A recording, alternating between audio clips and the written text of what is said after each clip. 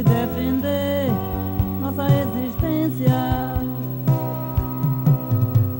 A gente já não tem direito de defender nossa existência. Quando alguém, de certa forma,